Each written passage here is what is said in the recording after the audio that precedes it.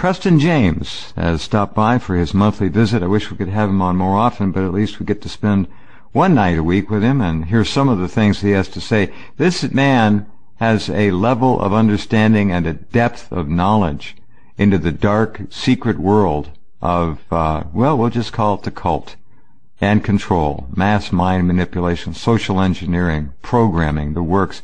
Preston knows it. He's been there. He's got incredible sources and always read his material. It's on the left side of the home page right there in his columnist box. Hello, my friend. How are you? Welcome back.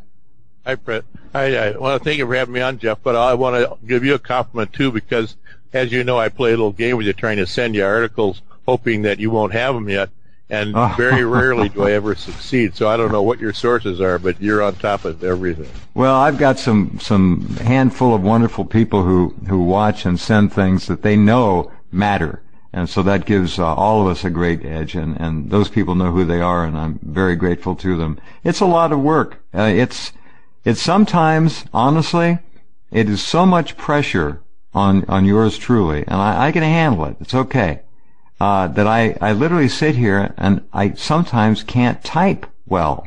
I can't, my mind is four or five stories ahead and I can't, I have to stop and back way up, rewind and go A, B, D, L, R. I have to find the keys and slow down. Uh, it's just too much. It's, it's, it's crazy. Anyway, that's the times sign of the times. And next year, if we can just get Trump sworn in, next year is going to be one of the most incredible years in American and world political history, Western world political history. Period. Well, it's a fact that um, it's fa- very fast moving, and and uh, the establishment. And when I say establishment, I don't just mean the the uh, Democrats. I mean the Republicans and the Democratic Party leaders and the major media, which they all work for the uh, satanic pedophile cabal, whether whether they know it or not. Only the high whether they know it or not, absolutely. And of course, they they were stunned. They were they were convinced. They were told it was wrapped up that uh, Hillary was the establishment candidate, and of course, they they believed that she was sick and she was in a limited role, and that she would get yeah. in and yeah. and that then they could easily push her around or do whatever whatever they wanted That's anyway. Right. So, you know. Did you see the video of uh, of of she being embraced by Chelsea, who ran up and hugged her when they told her, "You've got it, you've won."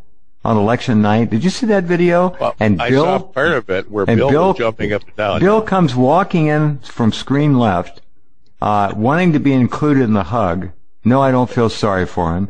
She was, she wouldn't even look at him. She was hugging Chelsea, and the, the guy stopped short, Bill Clinton, rapist, and started literally, I think he made three jumps, little jumps, little hops up in the air, like a little kid would do, a child, happy little child. This was the most amazing thing I've ever seen. And eventually, he was jumping up and down, and Hillary had to look over at him, and she took her left arm, which was wrapped around Chelsea, and twisted her hand toward Bill and let him hold her four fingers. Yeah. That was it. Yeah. Was sick. But you know, the talk in D.C. is is that she's angry at him and she blames uh, him, Podesta, and all these people that were running her campaign for her loss, and she she can't take you know responsibility for the, herself. The fact that she was sick, she lied about so many things. She made. She can't. Mistakes. Okay, now you're hearing. See, you've got sources. I don't know. I don't know what the inside yeah. the the well, Beltway. Bill, you know what Bill saying. did though. Yeah. He's he's he's like the vice president. You know, they don't let they they they uh they, they put the uh, bridle on on the vice president because he was going out and it, when people would ask him questions, yeah. you know, he would he would tell the truth. Yeah, he's that kind of yeah. guy, and he and he caused all kinds of trouble especially yeah. when he was answering. He didn't lose. He didn't lose the election for. Look, no. the, the, truth be told, and we always try. She lost the election. People didn't like her. She didn't strike a, a responsive chord in the psyche of America. They didn't like her arrogance. They didn't like her laugh. They got sick of seeing her teeth hanging out, smiling. They got sick of seeing all the makeup. They just didn't like her. She's not likable. She's evil. And I think well, that yeah, that they, is they not to be missed. To no. But, but the biggest blowing block was the upper middle class white women and Yes, the, uh, yes, liberal yes. black women. But I I I, uh, I I I was surprised to find out that seventy percent of the Chicanos and the blacks in uh, Michigan, Ohio, and Indiana voted for Trump. Even gang bang leaders and drug gang leaders Amazing. voted for Trump. And when they asked them why, they didn't care about any of the peripheral issues or anything. All they said is, the man's promising us jobs. We want jobs. One, We one want- gang, le- Yeah. gang leader said he'd rather have a job in a, a, a Ford assembly plant or a GM assembly plant than selling drugs. You know, You know what it is?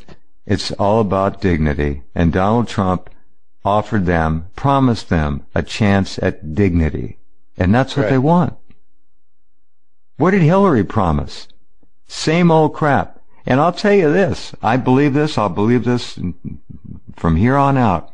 We dodged World War III. I think that Vladimir Putin had decided this is the end. I'm not going to budge anymore. That's it. No more diplomacy. If they screw with us, we're going to take them out. And I think he could start still with NATO piled up all along the western Russian border. And it- within law, by the way, the United Nations Charter allows any country that is being eminently and imminently threatened to militarily remove that threat if it's near their borders. So he could Well, go in there and take more, them out. Isn't isn't there a rule that if there's sanctions brought against them, that that's an act of war too? Absolutely. Sure it is. And economic actions constitute an act of war. That's right. So I don't, I I'm think- not ruling anything out. He's got Iskander missiles there in Kaliningrad, and I think he could turn those loose and take out a hell of a lot of NATO's command and control, take out their missiles, and he wouldn't have to cross his own border or send even any aircraft over. Those Iskander missiles are, are awesome. And then he's got the Kalibr, tom, the cruise missile makes the Tomahawk look like a rock. Uh, these, those Kalibr missiles are hypersonic and they, Oh. they're They're not, two stage, right? oh, they're incredible. Yeah. Yeah. They're Yeah. So once the second stage cuts in, they can't stop them. I guess they don't get them right away when they're taking off. no, they got to give them in boost phase and it, that ain't going to happen. It's too quick. But Jeff, I heard that yesterday there's been a number of uh, articles in Haaretz and in various art, I believe RT and uh, in other online journals that uh, Israel sent some uh, missiles from some of the aircraft into outside the airport at Damascus, That's claiming right. that they. Now, is that first of all, is that story accurate? I, I well, I, I wasn't there. I can't tell you, but I believe it to be accurate. RT is a very good source, and they did strike targets outside of Damascus. But today they admitted it, and they said we did it to stop the the flow of weapons of mass destruction to Hezbollah. That's what their excuse was. Aren't they playing with fire? Because Of course they are. Yeah. There's said there's something like a hundred thousand missiles pointed at Israel. I don't know how many. A lot. Tens and tens of thousands of missiles of varying sizes, sophistication, and firepower, all pointed at Israel. But they don't. You know what they? Preston, here's the big deal. And I tip my hat again to terrible Tim Rifat. This guy, 10, 12 years ago, longer, was saying Cobalt 60 equalizes it and then some for anybody. If they were to lob a couple or three Cobalt missiles into Israel, that's all they'd have to do. That's the end of see, it. it's poisoned for what a thousand years. or Something like that. It's, it's, it's over. It's done. It's finished. But you know they have the perimeter. You know all about that, right? yeah. And they call it the dead hand. Yep. And the the original dead hand missiles back in the fifties, when they set it up, had cobalt um, casings on them. Well, that's And- probably what the Iranians have. They don't need nuclear missiles. Cobalt Right. 59, uh, which turns to cobalt Yep. 60 when it explodes. That's that's all you need. And then the But- Russians have that that magnificent torpedo. It's actually like a small sub. It's launched from a big sub. It's a torpedo, and it has a range of 6,000 miles, and it can travel 3,000 feet deep at 110 miles an hour. And you can you can find that if you had to. And Right. if it if explodes if it explodes offshore, it will generate a tsunami 900 feet tall, which will go inland 30, 40 miles and wipe out everything. Depending on the on the on the uh, megatonnage of the warhead, of course. But they can like do our, that. Our, our Mark IVs that are nuclear tipped. But I was going to say there's other talk that the Russians have another torpedo. Actually, they they had three advanced torpedoes. Um, the last one is is supersonic underwater, and the the second one um, was would actually emit high powered gas out the the nose of it to create a uh, a vacuum. That's called cavitation. Exactly. However, yeah. the the last one, if the rumors are accurate, it creates an anti gravity field on the front of the missile, so it's actually it's actually passing through the molecules of the water, and that one that one goes actual supersonic, something like well, 1100 uh, I, I honestly wouldn't be surprised if you're completely correct. I do know the first one I discussed, 110, 115 miles an hour. That one has the range, 6,000 right. miles. And it, it is a cobalt cladding issue in terms of the, whatever the nuclear payload is. They just wrap it in, in cobalt 59. And upon ignition, it turns into cobalt 60. Goodbye. Imagine a cobalt 60 tsunami 900 feet tall, going in 20 miles. It's gonna, it, everything is wiped out, scrubbed, and then cobalt is left behind. It's, it's over. Well, but it spreads though, that it, it, it's something about the cobalt that it Oh, you get picked up in the wind, in precipitation, yeah. uh, evaporation will take it up into the clouds, into the moisture. That's right. Totally right. So they've never really tested it. You know, I mean, I, I always wonder if they're exaggerating the toxicity of it or but nobody seems to contest the fact that it's the most toxic casing possible for any nuclear nobody device. will touch it. No just do your research folks. It's right there. Cobalt 60 cobalt 59 cobalt 60 yeah that's it. They have the weaponry. The russians will, would never lose uh, another war. They won't. They've got too much technology. And remember the chelyabinsk meteorite coming in it was 18,000 yeah. miles an hour headed toward it. a very yeah. secure area of Siberia. And if you watch the videos, you can see it. Uh, the Russians hit it, came up from underneath and behind it, looked like a pencil, went right through that meteor and broke it into pieces. Now, was that a particle beam weapon? I don't think so. I think it was a solid object. Could have been titanium, could have been anything, but it was, it, uh, I didn't read it as a plasma weapon. I read it as a solid object. My eyes, that's what my eye told me anyway.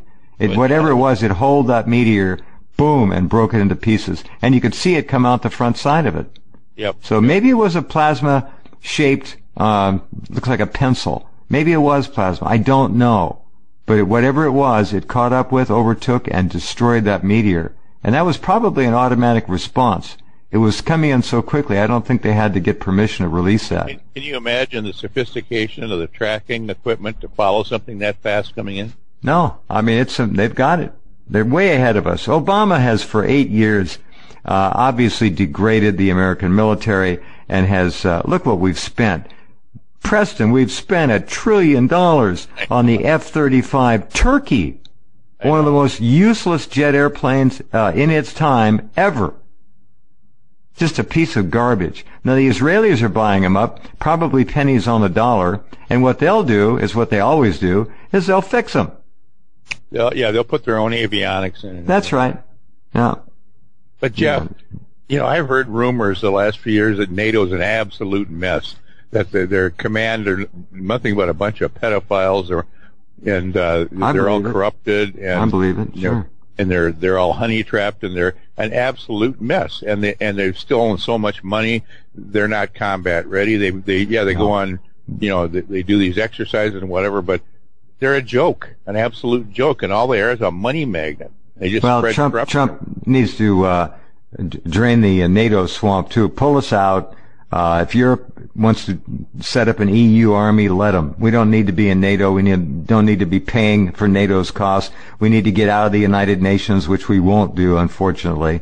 We've been paying for the UN, the majority of the UN, ever since it was conceived and implemented on this planet. Uh, it needs to be uh, taken down several notches at the least. But we're we're on the doorstep of some phenomenal changes that if Trump can survive and, and become sworn in, uh, and I think what he'll do is he'll do a he'll do his tweet news conferences and and let, let all those pretty pretty faces uh, just go and uh, and ruminate and and grumble. Little Chucky Todd and uh, all, all, of them. There's so many of them. I think of the MSNBC crew, and they they were all so arrogant and sure of themselves. How and Rachel Maddow and they, oh, yeah. and they just had to eat garbage, and it was it but was. Jeff, amazing. you think they made? You think Trump has made a decision who he's going to let into the White House press room? I there'd probably be a handful of people at the most. but Breitbart, his people will be right up in front, right? Yeah, sure. Yeah. But I mean, it's possible that he's not going to let these CNN and. I don't MSN think he should hold White House press conferences except on rare occasions. I think he should continue to use Twitter and yeah. talk to the people instantly. You know, well, when he yeah, does they, that, they he takes to. the, he controls the media headlines just by putting in a two sentence tweet. yeah, they asked him to stop using Twitter, some of the big shots, and and he said, when you start telling the truth, I might. oh, that's funny. That's wonderful. Well, so far, all indications are good. Now, Secretary of State remains a, uh, an issue. Petraeus, they're still talking about Romney having the inside edge. I don't know why, but I'm reading that. May not be true. And then they're talking about Dana Rohrabacher, who is eminently qualified to be a superb Secretary of State. That's the man that uh, that Trump should have. I don't know what kind of pressure uh, he's being given by the Mormons and the Mormon uh, cabal and, and that group, but there's some clear pressure being put on him to uh, let Romney in there. And what what are these people going to do if Romney gets in? What is he thinking? He's thinking 2020 or or 2024. He's thinking White House. He wants to be a president. I guarantee it. Many, you can see Nikki Haley. What's she thinking? UN ambassador, the first woman president. I'm telling you, these people are easy to read. That's true. That is true. But what can the what can the establishment do to knock him off course once he's seated? What kinds of conflicts can they start that will undermine his effectiveness? I'm sure they're talking about it. Would, right it would involve, I think, a lot of uh, uh, dead people, uh, Soros false flag ops. Uh, they light off a, a low yield nuke in a, in a, a medium sized American city and blame it on Iran and challenge Trump to do something to get even with Iran. We'll never, if there's a nuke that goes off in this country, people, please understand, you will not know, I will not know who really did it. This is like 9-11. Fortunately, we have the internet and we have figured out long ago who did 9-11. We know who did it. But if there's a nuke and the rush to judgment is put on us by the mainstream media, Americans will demand revenge. Watch. All they got to do is kill, like, let's say they killed 3,000 on 9-11, but they killed 10,000, 20,000 with a, a, dirty nuke or something, a dirty bomb, uh, America, and blamed it on Iran. That would be it. Then you got Russia. Russia won't let that, uh, war on Iran happen. I don't, I just don't believe it.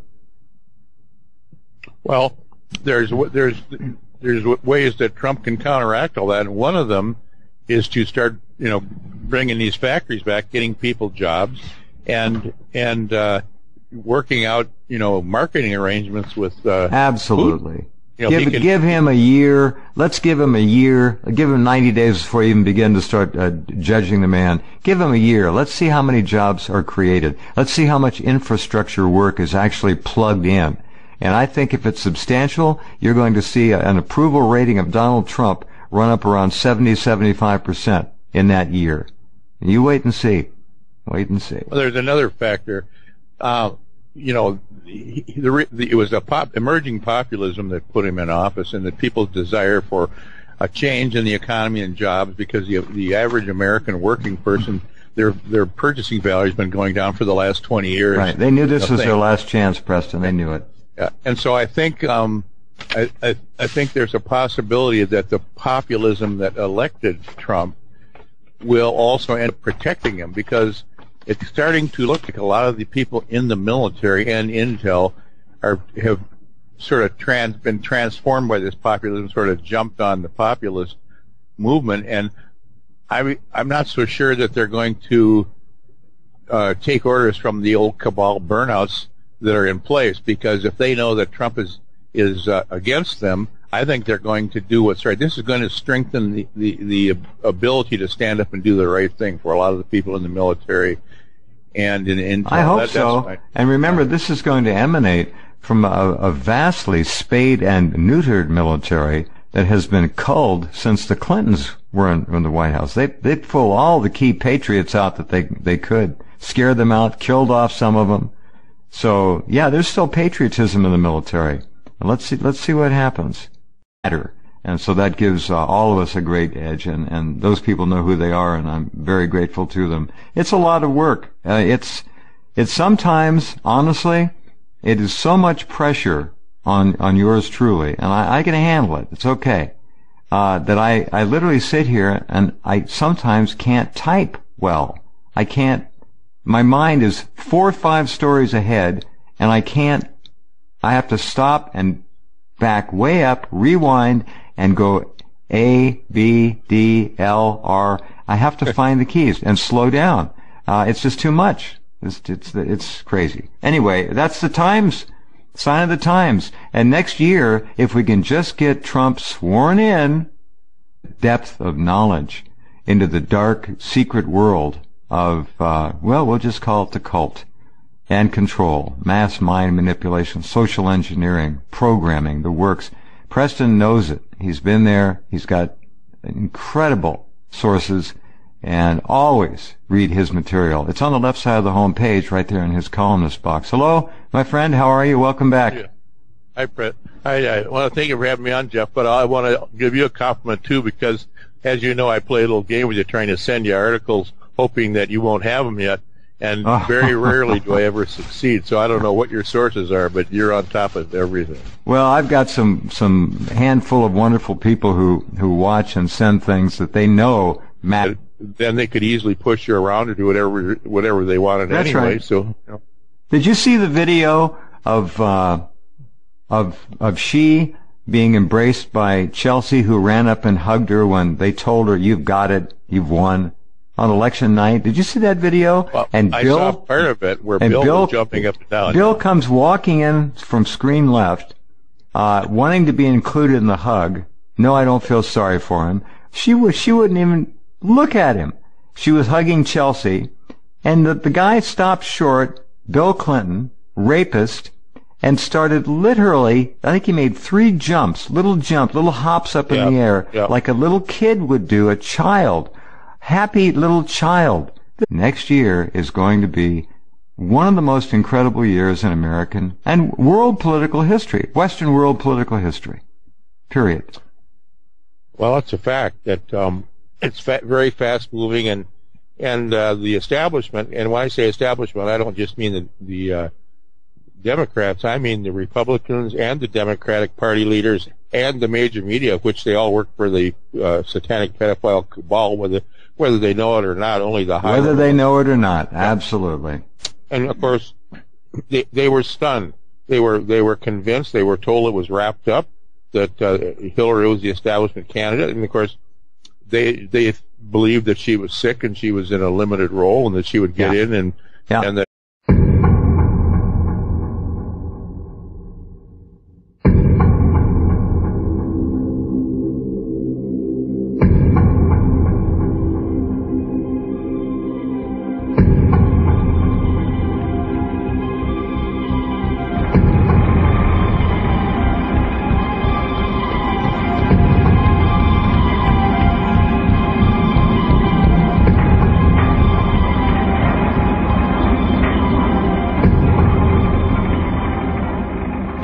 Preston James has stopped by for his monthly visit. I wish we could have him on more often, but at least we get to spend one night a week with him and hear some of the things he has to say. This man has a level of understanding and a